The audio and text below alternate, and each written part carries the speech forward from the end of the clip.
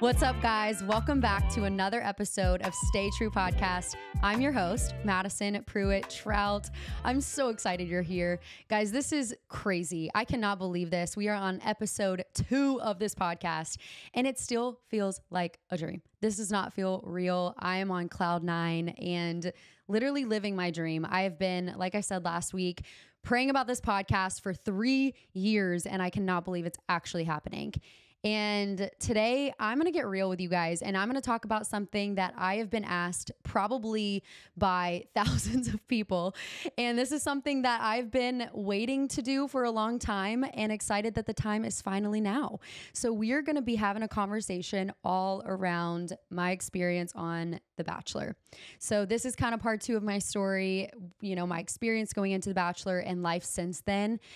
And this is going to be fun. This is going to be hard. I actually have never really talked about this before, especially publicly.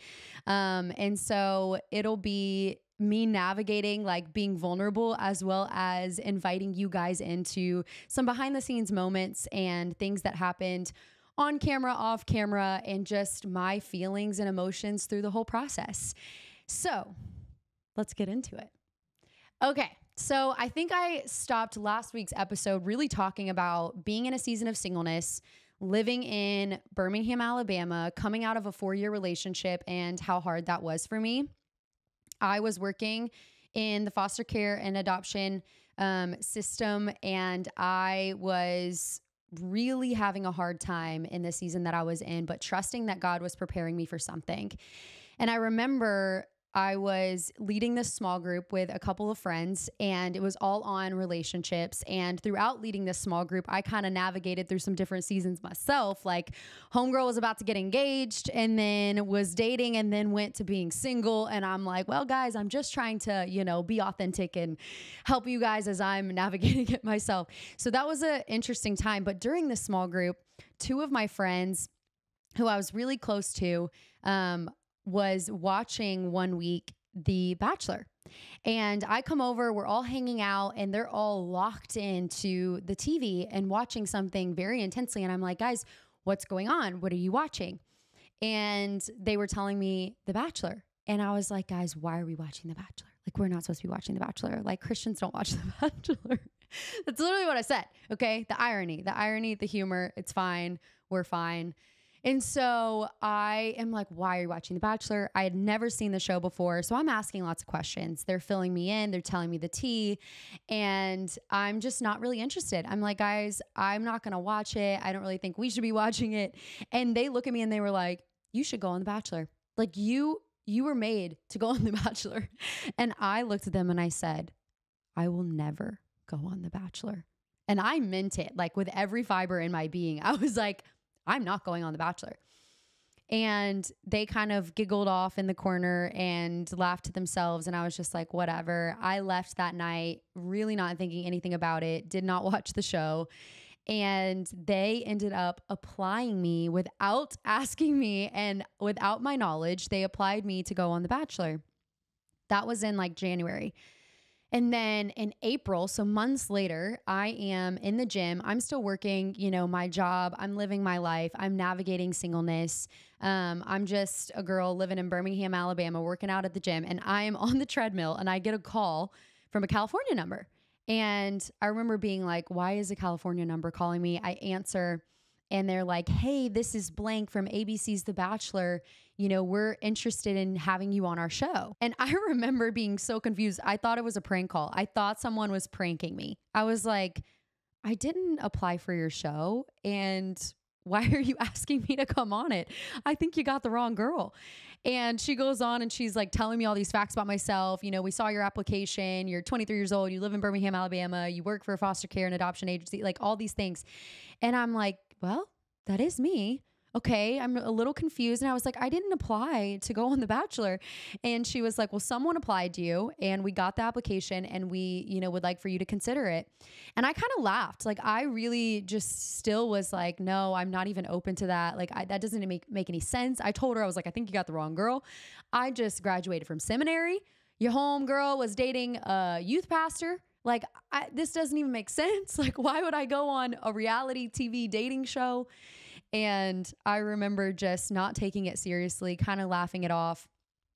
And I hang up the phone. She's like, well, just, you know, she told me, she was like, just think about it and let us know, you know, if you're interested or not. And so I, I kind of, you know, passively hung up the phone, didn't think much, much about it called my mom thinking this was going to be like a good old knee slapper moment. Like we're going to have a, a, hoot and a holler talking about how the bachelor just called me and wants me to go on their show. I call my mom and I'm telling her, I'm setting the scene and I'm like, you know, don't tell anyone, but I just got this call. I can't believe this, but I'm, you know, of course, I'm not going to go on the show. Thinking, you know, my mom's going to be like, yeah, absolutely not. You're not going to go on that show. And instead, she was like, well, have you prayed about it? And I was like, Well, no. I called you as soon as I got off the phone. What do you mean? And she was like, Well, you know, we always pray first. Before we make any decisions, you know, in life, we take it to God and we pray first.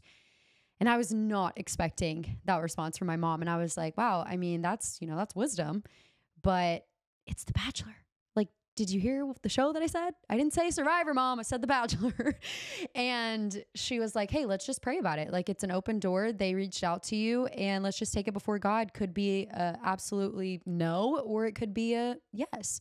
And so I was like, okay, I will pray about it. I hear my sister in the background, like running around, like, you have to go on the show. Like, I love The Bachelor. And I was like, Mom, I told you not to tell anyone. And she was like, Yeah, I had you on speaker the whole time. And I remember getting off the call and just being like, okay, this is crazy, but God, I, I guess I'm going to take this before you and invite you into this decision making process and just, you know, ask you, what's your will? Like, what do you want with this? Is this a no? Is this a maybe? Should I just keep going down that path? And for the next three months, my family and I took time to pray and fast and really seek God's heart and will in all of this. Like, God, what do you want with this? And over the course of those three months, I mean, y'all, the it, this it would take me an hour to three hours to tell you all of the signs, all of the like ways that God spoke through people, through nature, and it was so clear that that was the direction that God was leading me in. But it made no sense. Like everything that, you know, I've even gotten from people since coming off the show, why would a Christian go on The Bachelor? Like, this doesn't make sense. I'm like, yeah, didn't to me either. like, it made no sense to me either. And I'm sitting there like, God, this doesn't make sense. This is, this feels like a step in the wrong direction. This feels like a step backwards. Like, I'm ready to be a wife. I want to do full time ministry. And going on a reality dating TV show where, you know, there's just been so many different depictions of faith and Christianity. And I, I, just was like, that sounds terrifying to me. Like, that sounds scary to me. And even as, you know, rumors were, you know, gossip was happening around town and people started finding out that, you know, I was going on the show. I had friends, like even some of the same friends that were in my corner supporting me, wanting to go on the show in the beginning. I had friends really turn their back on me and say, sorry, if you go on the show, we can't support you anymore. And that was a really hard season. Like I started feeling the weight of like what it would be like to go on this show and the level of feeling misunderstood, judged, and I just had no idea how I would be portrayed. And so this was like not a light decision, you guys. Like I took 3 months to really like war it out with God. like I was like this you got to pick a different person. I ain't the girl for the job. And I would say, outside of even fearing other people and just the response that I would get, I was also terrified of if I even had what it took to stay true. Like, I mean, this podcast is called Stay True, but I didn't know if I had what it took to stay true. Like, you know, under so much pressure and temptation and being thrown into a situation that I never had before, like, God, can I stay true to my values? Will, will I be able to? And I was so scared. I really was. I was really scared. And at the same time, continued to feel so much peace, so much peace, and really felt God speak to me through dreams and people. And like I said, nature in a way that I couldn't run from. Like I couldn't deny it. And it felt to everyone who was involved in this prayer process with me. I had my best friend and I had my family. I didn't tell anyone else outside of that because I knew inviting a ton of other opinions, you know, would be maybe not that helpful in making this decision if I felt like this was where God was leading me. And so, I remember having this moment of just God, like, I need you to make this so clear. And I was praying. I was actually at my church. Um, my church was going through this thing called 21 Days of Prayer and Fasting. And I remember being like at the front of the church, literally at the altar, like shaking and crying and being like, God, I don't think I'm the person for this. Like, I don't know if I can do this. I'm scared. And I just had all of these what ifs. Like, what if I get rejected? What if I, what if I'm misunderstood? What if people, people, you know, think of me as a bad person or a bad Christian and I misrepresent you? What if I can't stay true? And I just started asking all of these what ifs and I just kept saying like I don't feel strong enough for this, Lord. Like I don't feel like I have what it takes to stay true. I don't feel like I have what it takes to stand firm. And I remember having this moment just crying to the Lord and praying. And there are other people in this room, like there were other people at the church where we were all praying, you know, for this 21 days of prayer and fasting. And the campus pastor at the time, in the middle of this prayer, in the middle of me crying, he had no idea, y'all, that this was a decision that I was thinking about or praying about or considering at all. And I remember halfway through that prayer, me just being like, God, you're going to have to show me. You're going to have to tell me. You're going to have to make it clear. I don't feel like I can do this. I'm like finishing that prayer. And as I'm saying that, I literally feel like an arm on my shoulder and just someone like kind of whispering in my ear, like, God told me to come tell you, you can do this. And He has prepared you for such a time as this. You have what it takes to stay true. You have what it takes to stand firm, and you're going to have to trust him. And I was like, what? This is crazy. Like every single thing I was telling God, I don't feel like I can do this. Like, what if this? What if that? He, this, he was spe- speaking directly to that. And I remember having that moment of like, okay, God, you, s- y'all, my stomach just growled so loud. Oh my gosh. Clearly, I'm hungry. But I remember having that moment being like, God, you see me, you hear me. And if you are calling me to this, like you will sustain me through it. Like if you're calling me to it, you'll sustain me through it. If you're bringing me to it, like you'll you'll protect me through it. I got to trust you if this is the way you're leading me. And just again and again and again like he would make it so clear this is where I'm leading you, Maddie. You just have to trust me. And I understood the weight of that. Like, I understood I am setting myself up to be judged not only by the world, but by Christians. Like, I'm setting myself up to be misunderstood not only by the world, but by Christians. But I knew at the end of the day, I live for an audience of one. And at the end of the day, I have to give an account for my decisions, for my obedience. And when I am one day face to face with God, like I don't want to look at him and be like, sorry, I didn't obey you. I was terrified of what other people would think about me. I wanted to be like, hey, I followed you whatever the cost. I was willing to obey you whatever the cost. And I want to hear the words, good job, my good and faithful servant. I am so proud of you. And at that time, like I, with everything in me, had full peace and full faith that that was the direction God was leading me in, even though I didn't understand. And it was a weighty decision. And I remember preparing for it. I'm getting ready. I'm packing. I'm like, how do you even pack for something like this? They told me I could take one suitcase. Your, your girl had three. And I was like, I don't know what to wear. I don't know how to prepare. And I just was praying to God that I had what it took to stand firm. And I also didn't know what I was getting myself into. Like I said, I had never really watched the show before. And once I said yes and committed to going on the show, of course, I started kind of looking into some things, trying to learn about, you know, The Bachelor. What am I about to step into? And I, you know, remember learning like, okay, this is something where I could show up and get sent home immediately, or this is something where it could be the next two months or so of my life of filming. And that was hard, scary, awesome, exciting, all the feelings. And I remember I leave for California because you start off in California. So I fly out to California, I get there. I, you know, meet the producers and, and everyone, but I, I hadn't met any of the girls yet. So I haven't met anyone, haven't met the bachelor, haven't met the girls yet. I get there, I'm taken to my room and I'm just like journaling. I'm like, Lord, what do we, I mean, I'm here. I committed. We're in this. Like, we got this. Okay, like, let's do it. And I was so nervous, y'all. I was so nervous. And the day that I, was going on the show, like going to meet the bachelor, filming was starting. All the other girls were riding in limos together. And I was by myself. I was in a limo by myself. I don't really know why. I don't know if there was something to that or if it was just my particular entrance because everyone, you know, has the different entrances or whatever when they get on the show. And mine was, it was so cheesy. I look back and I cringe at myself. And I was cringing at myself, honestly, as I was doing it. But I was like, at this point, we're going to full send. I had a couple of ideas of what I wanted to do originally, and it just didn't work out. So we ended up literally creating a massive paper airplane. I put myself into it and I flew up acting like I was a pilot. I told y'all it was cheesy. I don't even remember my pickup line. I don't know what I said. I blacked out. It was crazy. My heart was racing, and the whole time I just was like, don't fall on your face. like, don't fall on your face. But I had sneakers on. So, you know, we were fine. And I get there, meet him. I get in the room. I see all the girls, and I just was beyond overwhelmed. But again, felt such tangible peace and felt okay, the Lord is with me, and I just have to continue to trust Him and lean on Him through this entire process.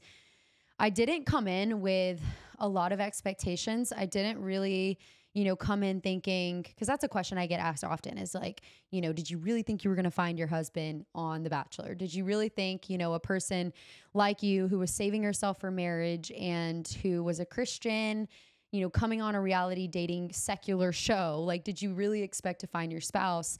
I didn't know what I expected. I really didn't have expectations. I just was taking a step of faith. Like, I did not know how it was going to turn out. I didn't know if I would get sent home the first week. I didn't know if I was there to learn a life lesson. I didn't know if I was there to build my faith. I didn't know if I was there for the girls to just encourage and love on them or if I was there for the bachelor, or if that was my spouse. I had no idea. I just was like, okay, God, I feel led to do this and we're going to do it. We're going to go for it. And so, even getting there and meeting him and then getting the first one on one date, I mean, it, just the whole process was so crazy. And I remember being like, okay, on this first one on one date, wow, this is legit. Like, okay, there's some feelings starting to brew. This is this is wild. I'm dating this guy who's also dating these 30 other girls. like, what in the world is happening? And every day I would say truly was a battle for me. Like it was, it was tough. Like I was, because we're mic'd up, there's cameras on us 24 7.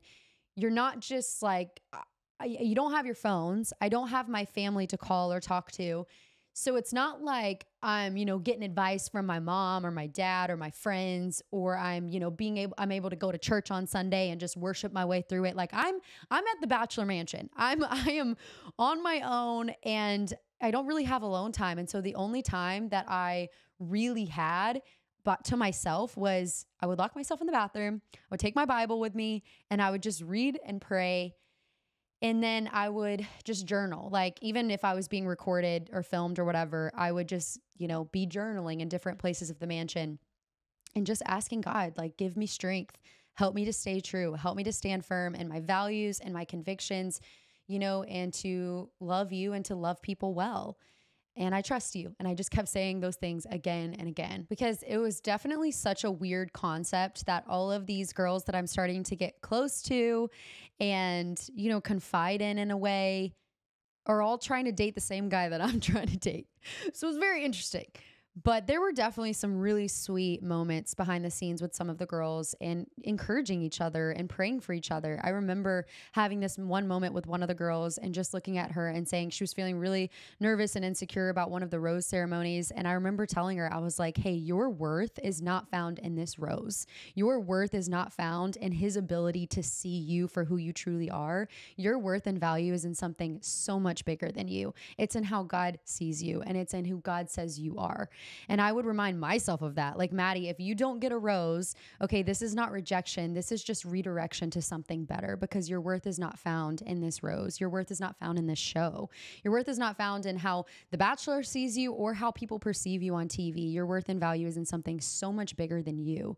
And I would have to remind myself of that often but we would encourage each other you know there were there were definitely some drama moments absolutely but we also would encourage each other and remind each other, you know, of the bigger picture because it's so easy to get really caught up in all of it when every single day for basically since you wake up, like you wake up in the morning, there's cameras on you immediately. Like there was even one morning I remember we were woken up by the producers and I had pimple patches on my face, literally pimple patches all over my face.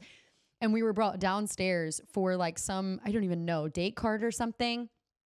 And we were in pajamas, pimple patches, like I hadn't even brushed my teeth yet. And so there were definitely moments where you wake up and it's immediate into filming and you don't have the time to really, you know, feel your best or take time to figure out all the things. You're just kind of thrown into it and you're filmed 24 7. Those rose ceremonies literally go till like five or six in the morning. And so you are exhausted. You're so tired. And at the same time, you're trying to navigate your feelings. You're trying to navigate, you know, not only how do I feel about this person, but what do I value and what do I need in a relationship? Like that was something I had to continue to remind myself of. It's not just does he choose me, but do I choose him? You know, all throughout the time of filming, I'm like, yeah, I may be on some show called The Bachelor where it's all about The Bachelor, but I know who I am in Christ. I know my value, I know my worth. And whether he chooses me or not, like I have to answer the question of do I choose him? Is he the one God's chosen for me? And so throughout the time of filming, I'm constantly, I mean, I'm journaling, I'm praying. And I remember when we got to, I think it was, oh gosh, I'm like my memory. I think it was Costa Rica. And I was having a hard moment and I kind of, you know, snuck away for a second and just like sat outside and started journaling and I was like god my there's a tension between my head and my heart right now. And like my head knows you know what the the man that you've called me to be with and that I need a man that is you know that fears you and loves you and serves you and can lead me and you know pursues purity and all of these things but I also am having strong feelings for this person. And so I felt like my head and my heart were in this tension. And that really stayed throughout the entire time of filming. Like it was crazy. But there were also just some really fun and funny moments too. Like I remember when we got to Costa Rica, actually our luggage got lost. And so the first like two or three days of filming, we were in our travel clothes and we did not have makeup. We did not have, well, some people did if they like put it in their backpack, I guess, on the plane, but I did not have makeup. I did not have undergarments. I did not have my toothbrush and toothpaste. I mean, we were like on the struggle bus for a couple days while being filmed on national TV. And I remember being like, this is so funny. Like, I just can't even, this is when I'm like, well, I can't put my worth and value in what I look like and, and, you know, what I can dress, like what my clothes are and all of those things. Like, I'm roughing it and I just got to be okay with that. So there were multiple moments where the girls and I, I'm still close with a lot of the girls and we'll still, you know, kind of talk about some of the funny moments from the show. Um, I remember my second one-on-one date with uh, with him was we were in I think Peru, and I had to eat fish heart, y'all. It was the most disgusting thing ever we were on this boat and it was all about I don't even remember how the scene got set up, but it was like all about, you know, are you is your heart all in? If you are, like, you know, let's eat this fish heart together. I don't know. It was crazy. It was disgusting. And just so many moments like that where I don't know, it just was it was fun. It was funny. I also remember this one time this was back in I think Ohio. This was before we left for international. And one of the group dates, this is like my dream like just day of we went to the Browns, the NFL team, the stadium, and we were some of the players were there. We were getting coached by them, and then we were gonna play each other. Like we were gonna scrimmage each other. The girls, not not with the professional players. The girls were gonna scrimmage each other, and I was like, my competitive heart is coming alive right now. I mean, I was thriving, and so I was so excited about this group date as soon as we found out what it was. But I woke up for this group date, y'all, with the biggest pimple on my face that you have ever seen in your life. Like it was like a face on my face, you know, it had taken a life of its own and it was humiliating. And I remember just being like, every time I was talking to people or being filmed, I just like had my hand over my face trying to cover it as much as possible. And I remember some of the girls, they were like trying to encourage me. They were like, Maddie, you know, it's about what's on the inside. And I was like, okay, yes, but just tell me like it is. How bad is the pimple? And one girl was like, I'm not going to lie to you. It's pretty rough. But the good news is you'll have a helmet on and hopefully that sucker will be covered. So thankfully it was. But then as soon as the, the game, you know, quote unquote ended, we actually ended in a tie. And this is like my worst nightmare. I do not do well with ties. I'm like, there is a winner or there is a loser. there is not a tie. And the game ended. We're in the locker room and I'm like ticked off and I'm sweaty. My hair's up in a bun. And there you see it, just a big old pimple. And then you want to know something really embarrassing, which this is just like, you know, you got to embrace it now. But when the show was actually airing, and the, the Bachelor just did me dirty for this because the show was airing and this episode was coming out. And I had a picture that, you know, someone had taken of us. And it was of me and one of my friends, Sydney. And we we were like posed up, you know, in our, our football uniform. And there you see it, just this massive pimple on my chin. So I was like, well, before I post it, I'm clearly, obviously going to erase this pimple off of my face because it's humiliating. And so I photoshopped that sucker off my face. I posted it. I'm not kidding. An hour later, The Bachelor posted the same photo with the pimple on my face. And it just was, people were going off on social media. It was like, oh, Madison, you know, photoshopped a pimple off her face. And I'm like, yeah, I did. I photoshopped it off my face because you don't want to see it. I didn't want to see it. It was ugly. It wasn't cute. But it was also so embarrassing. I was like, yeah, I just got called out. And from that day forward, I was like, I'm never photoshopping anything ever again. That was like God just trying to teach me a lesson of just embrace, embrace the things, embrace the flaws, embrace the weaknesses. Like, don't pretend like it's not there, just embrace it. So that was, you know, another funny moment. And there were a lot of those in the midst of the craziness, in the midst of the drama, in the midst of the really hard things. You know, I remember having to have some of those harder conversations and leading up to, you know, even really talking about my purity on national television and having to tell, you know, The Bachelor, but also knowing, wow, millions of people are going to be watching this also. And my words matter, like how I explain you know, what purity means to me and why I've decided to make this decision, I knew would come with levels of criticism and judgment and being misunderstood and accusations and all kinds of different things. But I knew that I, I had to, I knew that I should. Um, and it was who I was. If I'm staying true, I got to speak the truth. I have to be me. I have to, you know, share my story, my experiences, as well as my values and my beliefs and my convictions. And so I remember, you know, sharing those things and it being met with some opposition. And uh, yeah, that was really tough. That was really tough, you know, leading into the last probably few weeks of the show were for sure the hardest for me. You know, coming back from hometowns, now I'm really, you know, in this relationship. I just got a taste of seeing my family for like a split second, but I didn't get to really I didn't have any moments with them off camera. And so I wanted to know like what do you really think? Like what do you, what do you what do you really feel, you know?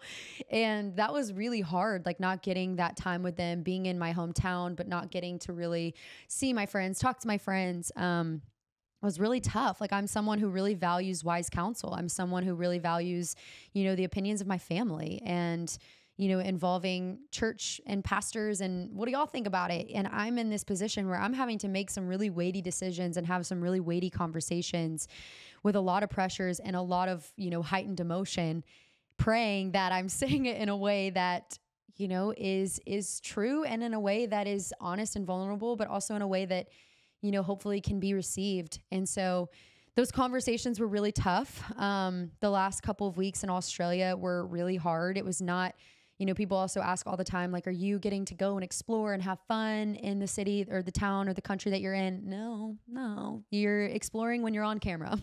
you're exploring and you're having fun when you're on camera. And then everything off, you know, you're either in interviews or, you know, you're just having conversations to like prepare for the next day. But it's, yeah, you're mainly in interviews. And so you're constantly being filmed. Um, or, you know, once you get to that point, you know, the last couple of weeks, you have more alone time. So I was getting more alone time. I was able to read more. I was able to pray more.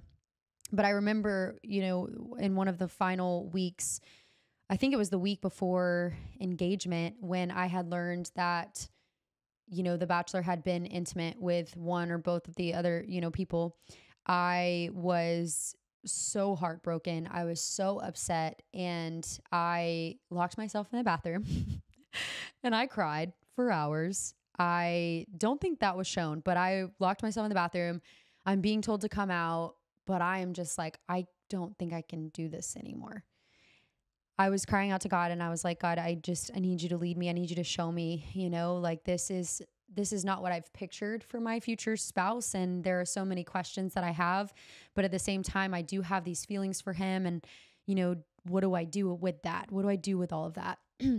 Crazy thing is, I actually have my journal right here. This is, y'all, this is the journal that I took with me on The Bachelor. Every single page is filled out from filming the show to the show being aired, coming off the show. I mean, the whole journey. And it is, listen, there's some tea in this thing, there's some emotion in this thing. I have had every feeling possible. And let me see if I can even find like a page that is worthy of reading of how truly like how I felt towards like the end of of filming. And then I want to get into like airing because that was a whole nother experience in and of itself. Uh, the good and the bad that came with that. This was in November. We started filming in September. So this is like drawing near the very end of filming. And I wrote this down and I'm like crying. There's probably some like dried up tear marks on this page. I said, I am drowning in all of this. I have never known loneliness like this. I feel like I'm unable to think on my own. I'm unable to surround myself with people that I know I can for sure trust. I'm slowly losing my sanity. I feel helpless. Like no matter what happens in this situation, I lose. I'm just like going on and on and on about like, what am I doing? God, I pray you're with me. I don't know what's happening. And I'm like crying because this was one of the biggest tests of my faith ever. And just when you're in an environment where there there are so many voices, there's so many pressures, there's so many temptations, you even begin to question yourself, you know? And I have to remind myself again and again like there's some journal entries in here where I'm just like who is Maddie? question mark. And then I have a whole page of just like this is who God says she is. This is her heart. This is her wiring. This is, and I had to remind myself of that constantly. I'd have another page, who is God? This is who God says He is. This is who God's been to me my whole life. This is how God changed my life. And I would have to remind myself again and again. And I encourage anybody listening, like, that's something I would encourage you to do whenever you find yourself in a season of tension, in a season of pressure, in a season of hardship, asking yourself, reminding of your, reminding yourself, like, this is who God is. This is who you are in Christ. You are a new creation. You know, God loves you. You are his masterpiece. You are set apart. You are chosen. You are accepted. You are loved. And I had to remind myself of that constantly. And so that was really my experience filming. And, you know, I ended up breaking up with uh, breaking up with him in, I think it was a day or two before the engagement, ultimately because I realized you know, our values are different. We're not on the same page. We don't want the same things. I don't think we're God's best for each other. And I remember the breakup scene being so crazy because it was like a hundred and something degrees in the middle of like this desert in Australia, y'all. I don't know if it looked cute on the TV. It was not cute in real life. It was hot. I was sweating. I put on self tanner. I was sweating my self tanner off. Like I go back, I went back and before filming this uh, podcast, I went and watched some of the scenes because I hadn't watched it since the show came out and I was like, that was not cute. Wow. They they should have told me. They should have told me I did not look cute in those moments. And there were flies everywhere. Like there were mosquito flies, whatever you call them, everywhere. Like they were just if you go back and look at that scene, we are constantly swatting away flies. It was a hot mess. And in the midst of that, a breakup. So talk about a crazy breakup. You're on national TV, you're in the middle of Australia in a desert, you're sweating your tanner off, and you are swatting away mosquitoes. I mean, what a time to be alive.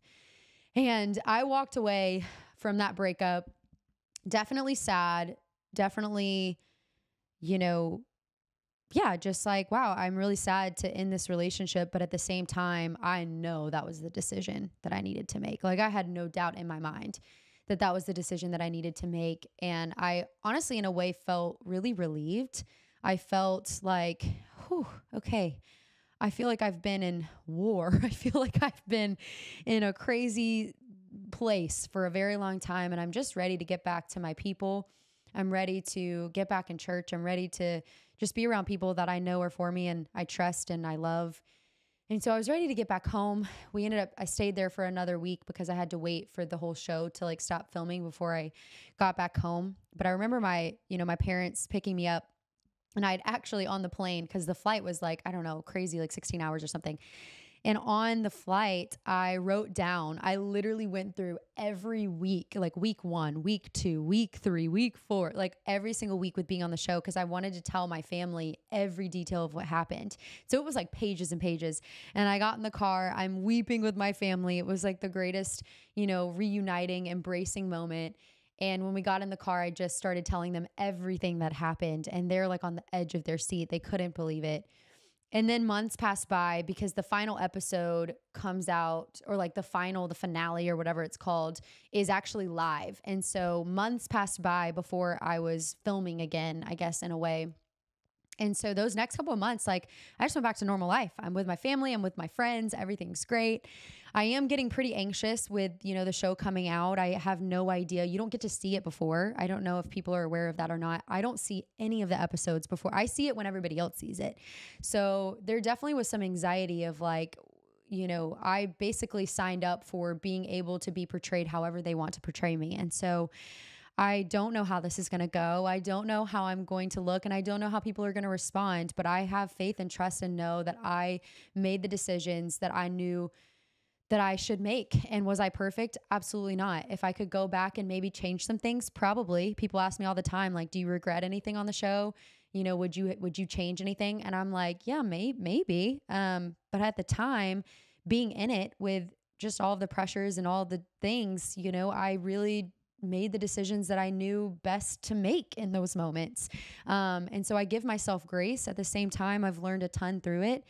And of course, probably could have handled things better, but we probably could say that about, I don't know, every season of our life, if we're honest.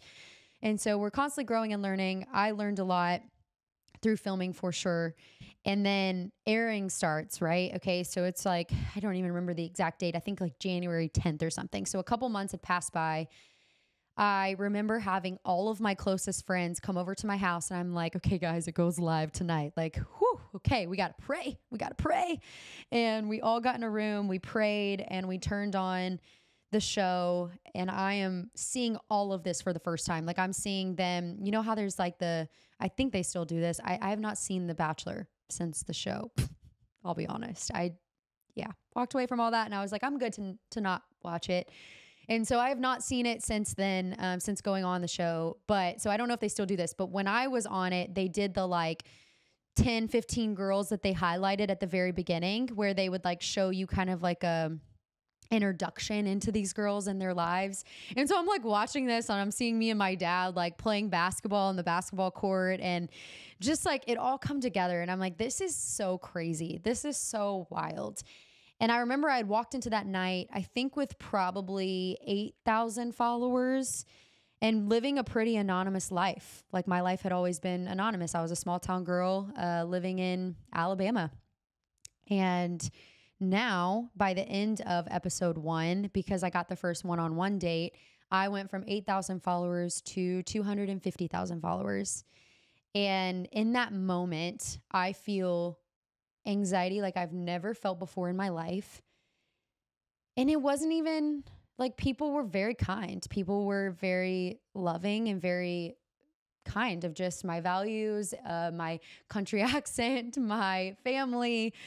I mean, everyone was very kind, but I remember having to literally walk away halfway through the episode. I, I went and, you know, shut the door. I'm in the bathroom. My friends are still in there watching. And I just cried and my heart was literally like just like so anxious. But i was like okay god i just trust like you are my defender you are my protector. All of this is in your hands. You know i did it it's over and i just trust you with the rest and i you know the the episode 1 ended my life was now different. There were now magazine articles about who is Madison Prewett and what is she like? You know take a quiz see if you're like Madison Prewett or Hannah Ann or and then named a few other girls. Just like the weirdest thing you know these celebrities that I had been following for so long posting, you know, about me and people making comments just about everything. You know, people are making comments about your looks, people are making comments about your family, people are making comments about, you know, your values. And I would say throughout all of airing, that was a constant realization that I had to have was like, okay, to everyone else, like this is just entertainment. This is just a TV show. But this is my life. Like this is this is me. Like I have to like live with this. And I realized how careless people are with their words. I realized how quickly people can judge and put their opinions out there, good and bad. You know, I love this girl. She should win the whole thing, all the way to, you know, F this girl. She's the worst. I hate her. She's ugly. She shouldn't be on this show. I got both, you know, I got the praise and I got the criticism. And I realized the only way I'm going to be able to, you know, keep my sanity and also remember who I am and live a life for an audience of one and look to please God and not please people as if I remind myself and choose to not listen to the praise or the criticism. But if I choose to just remind myself of this is what my family thinks about me, this is what my close friends think about me, and this is what God thinks about me. So this is what I'm going to choose to think about me because that ultimately is what matters. So I just encourage anybody listening to this, like a Bible verse that has really helped me since that moment of coming off the show and even today. I'm so easy I so easily fall into like people pleasing and wanting people to like me, wanting people to accept me. And I've had to remind myself of Galatians 1:10 where it basically says you cannot please God and people. Like if you choose to live for the approval of people, you are not a servant of Christ. That's of course me paraphrasing that a little bit.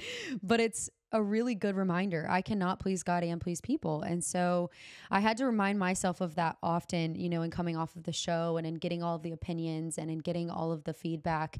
And it, like I said, a lot of it was good and a lot of it was not kind. And you just had to filter through it all.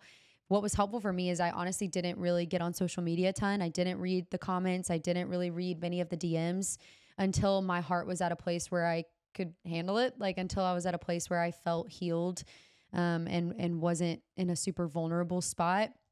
And that took a while to get there. I had really bad anxiety. I couldn't eat. I couldn't sleep. I ended up losing over 20 pounds in kind of that February, March timeframe, kind of towards the ending of the the season being aired. And when I got swooped back into all of it and, you know, came into the finale, I remember people even commenting on the way that I looked. You know, Madison has lost a lot of weight. She looks unhealthy. She doesn't even look like herself you know, making all these comments about my appearance and how I look so different. And truth be told, like I did, I totally looked different because the anxiety had weighed on me so heavy. I wasn't sleeping, I wasn't eating. And so I was losing so much weight. I came into the finale, oh, terrified, so terrified. And, you know, we were not back together, which I think is maybe how it was portrayed. But we had decided to come back into the finale from a place of let's figure this out. You know, can this work? Is there a chance, you know, at this working? And even just having conversations off camera, like we want to be able to have conversations off camera. And so we were both open to having that, came into the finale with that mindset. For those who saw the finale, we don't have to get into all that. we'll leave it there. It was crazy. It was wild. Uh, it was a time and I walked off the stage very dramatic. When I tell you dramatic, that is putting it lightly. I was so blindsided and hurt by what I felt was an attack that I like walked off stage. I took off my headset. I took off my like mic and I threw it down. I ran to the bathroom and I was like, you know, so angry at everyone. I locked the door. I cried. And I just remember all I wanted to do was like call my mom. Like all I wanted to do was call my mom. And I didn't have my phone. I didn't have access to anything. And I'm crying in the bathroom. And I just, I remember she had told me this, this like phrase right before I went on the finale. And she just said, You're stronger than you think you are. Remember who you are. And that was going through my mind again and again. I'm sitting in this bathroom, I'm crying, and I'm just like, now that I'm saying this, I'm like, man, bathrooms have really been a sanctuary for me, I guess. I'm like, in every traumatic moment in my life, somehow I flooded to the bathroom. But yeah, I'm sitting in the bathroom. It really, because in this moment, it was like the only place I felt like there I was safe to not be filmed, you know, that there wouldn't be cameras around, that I could lock the door and get away from everyone. And so I'm crying and I'm just replaying again and again, you're stronger than you think you are. Remember who you are, Maddie. And reminding myself of that because I felt blindsided and I felt hurt and confused and like I couldn't trust anyone. And I also forgot to say this, but because I wasn't able to talk to my family throughout the time of filming on the show, my mom actually sent me with 41 letters. So she gave me, she had written me like these letters for every single day that I was there. She didn't know how long I would be there, but she felt like God was like, write 41 letters. She just felt the number 41 on her heart. And the craziest thing ever is that those 41 letters carried me exactly like to the date to hometowns for 41 days. That was like 41 days leading up to hometowns. And then it was like from there, it almost felt like she was just like, go, like you've got this, you know, fly like an, like an eagle, an eagle mama says to her little eaglet, you know, like I've, I have nurtured you. I have, you know, encouraged you. I've challenged you. I've affirmed you. And now you just need to, you just need to trust that what's inside of you will carry you through, that, that the Lord's got you. And so those 41 letters got me, uh, you know, through filming, but even through this moment, like my mom, I have a very close relationship with my mom and her words just really stuck out to me. And I'm just clinging to those in that moment.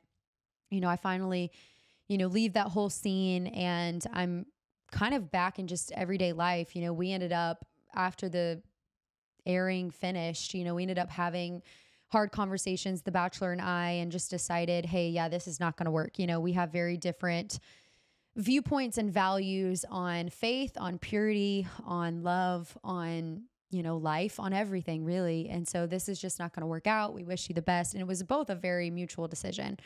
And so I'm really thankful that that ended well. And, you know, I wanted the best for him, still want the best for him.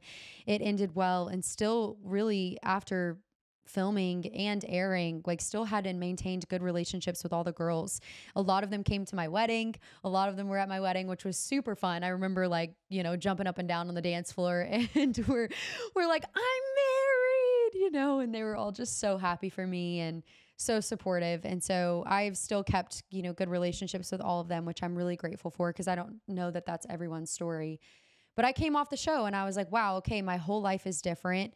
I now have these opportunities. People were reaching out, you know, asking me to come and speak at their church, you know, like I saw you stand firm in your faith. I saw you stand firm in your purity and I think you should come and speak to our youth. I think you should come and speak to our college students. And I just was like, wow, what what is what is life? What is my life? And I was like, okay, God, maybe this was all for something. Maybe you used this story. Maybe you used my yes to lead to other people's step of faith. And that was all I could hope for. And as I started getting more comfortable with, you know, reading some of the DMs and going back and, you know, looking at some of the things that people were saying, what was crazy was I actually, before filming this podcast, went back and read some of the like tweets and some of the DMs because I had screenshotted them and saved a bunch of them because I knew at some point, like, I want to be reminded of just these moments and these memories and uh, you know what what people were saying what people were feeling and so many people literally countless tweets were like, thank you for staying true. You're, you're giving me the courage to do the same. And I'm like, what? I didn't even think about that, y'all, when I came up with this name for this podcast.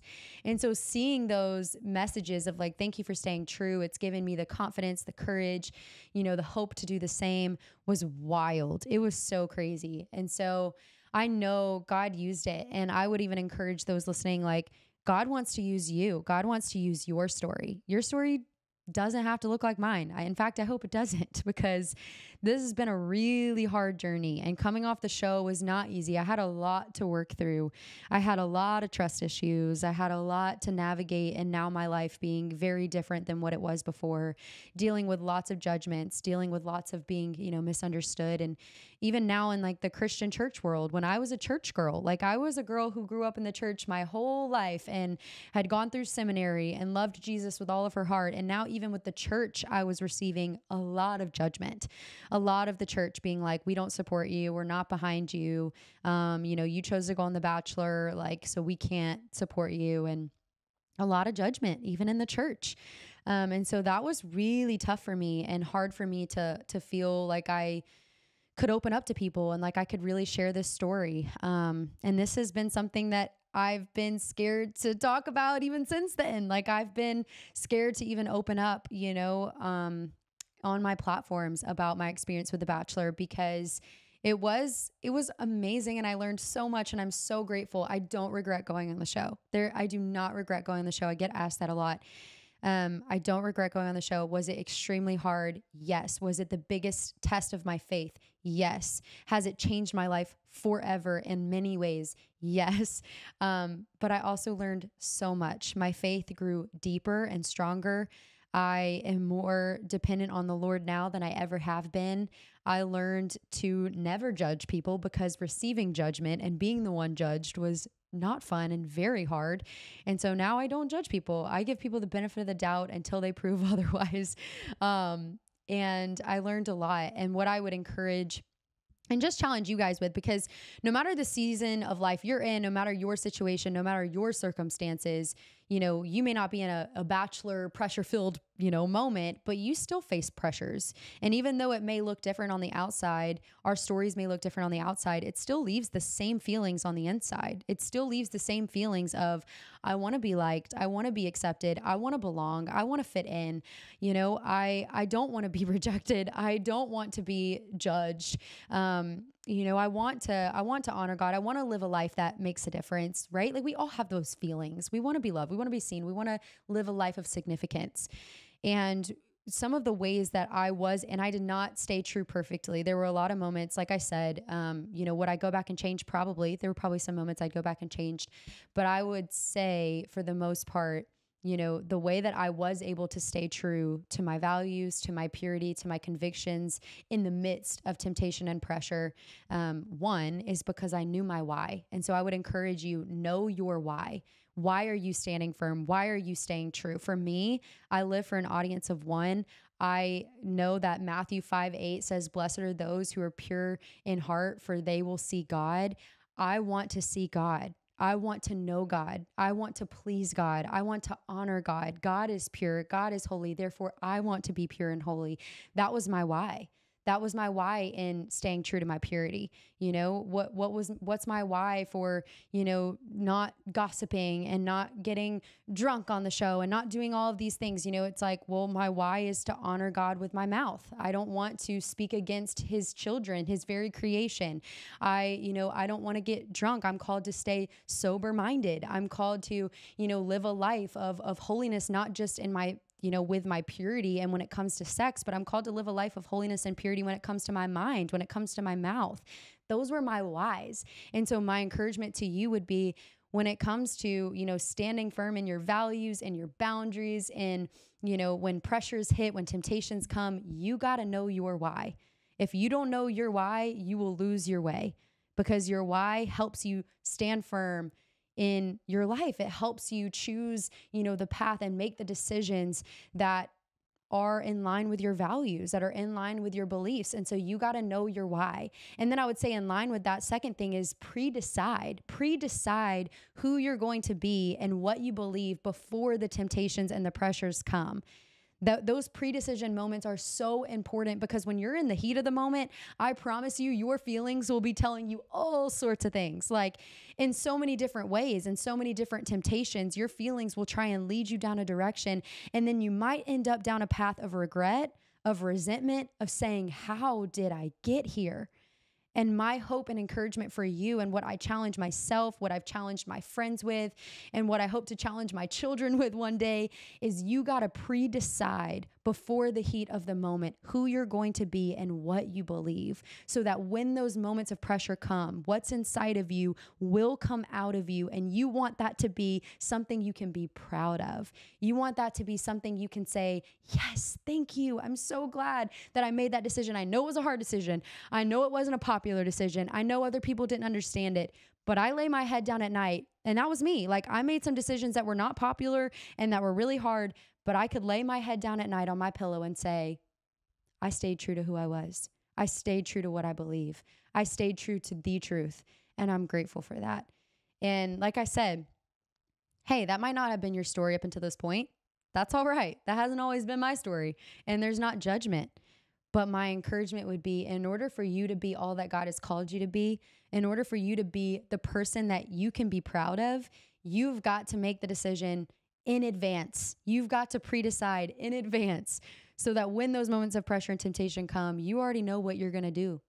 And honestly, I started that practice long before I went on The Bachelor. I was doing that in college. Like freshman year of college, I was like, hey, I'm going to be in a room alone with a cute boy and I want to know how I'm going to respond. I'm going to be at a party where people are doing this, this, this, and this, and I want to know how I'm going to respond. And so I made those decisions in advance. Okay, Maddie, when this moment comes, this is how you're going to respond. This is what you're going to do. Because my encouragement to you would be we need to be people who respond and not react. We don't need to just react off of what we feel, but we need to respond based off of our convictions and our values.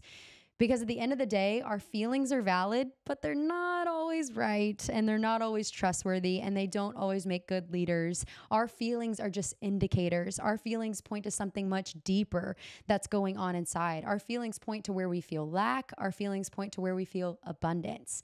And so they're just indicators. They don't make good leaders. And so you have to ask yourself, what do I believe? What do I value? What's true to my wiring and to, you know, for me, like the the word of God is is how I make all of my decisions. And then I have people of God, people who believe the same thing that I believe you know, come alongside of me and help me stay accountable to those things, like who hold me accountable to stay true to those things. Because sometimes there's blind spots, like we can't always see, you know, like we only see what's right in front of us. And so sometimes we need those people to to call us out and to call us higher. The third thing I would say is follow peace. Like, let peace be your answer. There are a lot of times where you feel led to say yes to something that does not make sense. It does not make sense and it did not align with your plans and with what you wanted for your life. But if God is the leader of it, He will give you the peace to do it. And so I encourage you, like, follow peace, follow peace, follow peace. And then the last thing I would say is pray first. I am a big believer of prayer and honestly could do a whole podcast on it because I believe, man, there's so much power in prayer. And so for me, every single step of the way for three months leading up to saying yes to going on The Bachelor, I prayed and fasted constantly. I had my people praying for me. And then all throughout the show, I had seven people that I reached out to before I went on The Bachelor. And I said, Hey, I know this is going to be really, really, really hard. I need you to pray for me. I need you to, I need to know you will commit to praying for me every single day that I'm gone on the show. And I had those seven people praying for me the entire time. And then every day I was on the show, even if it was like a two minute little prayer in the bathroom, I prayed. I stayed praying. The Bible says, pray continuously. Like we can't stop praying. That prayer is that constant communion with God. That's how we stay connected to God. And I think sometimes prayer for people is like really weird. It's like, what do I say to God? how do I talk to God? Do I do I stare at the wall? Do I, you know, twiddle my thumbs? Do I act like I'm on the phone? Like I'm talking to somebody? Like how do I pray? And man, it's just it's just a conversation. It's just a conversation. You pray, you talk to God, and then you listen. You listen. You let him speak to you. And I'm not even saying that's like this audible voice like, "Hello, you are to go. That's not what I'm saying it's like.